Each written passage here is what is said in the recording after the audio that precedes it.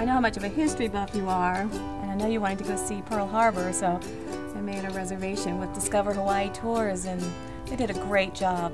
She did a great job because it was a complete surprise. I got to see the Arizona, the Battleship Missouri, and all came to life. You know, you read about it in a book, it's completely different, but this was fascinating. Very nice.